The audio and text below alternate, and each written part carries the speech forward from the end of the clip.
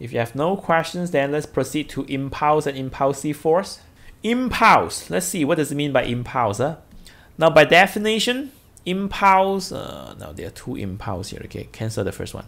So cancel this one. Huh?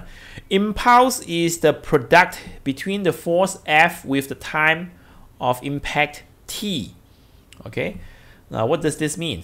Impulse is equal to the force multiplied by the time the time is the time uh, the force applied on that object. Okay? And that is called impulse uh. for example for examples if we have an object okay there's a 20 newton force pulling this object and uh, how long? How long this force pull on this object? It pull it uh, 30 seconds. Okay? It pull it 30 seconds. So 20 newton force apply on this object for 30 seconds okay 30 seconds. So what's the impulse? What's the impulse? So the impulse okay is equal to the force F times the time eh? and the force is 20 Newton and the time is 30 seconds. So therefore is equal to 600 eh? and uh, the unit for force is Newton and the unit for time is seconds so it's 600 Newton seconds. So that is impulse. Okay, that is impulse.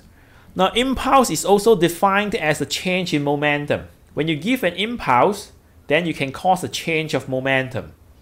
Okay, uh, so impulse is a vector quantity because momentum is a vector quantity, yeah, so therefore impulse is a vector quantity. Yeah?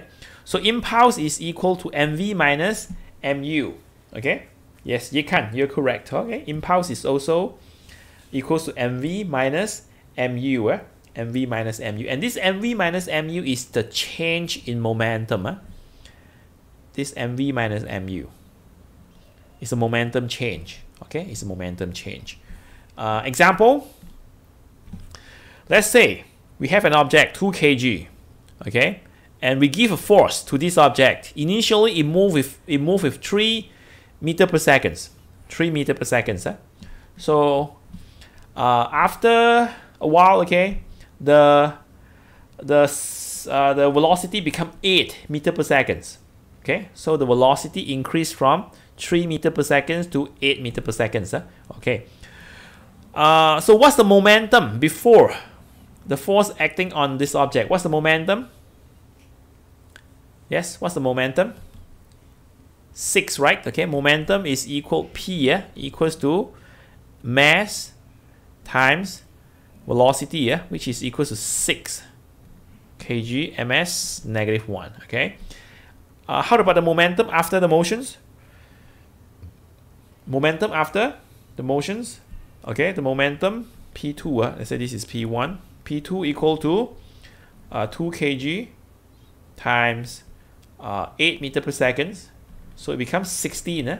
16 kg ms negative 1. Okay.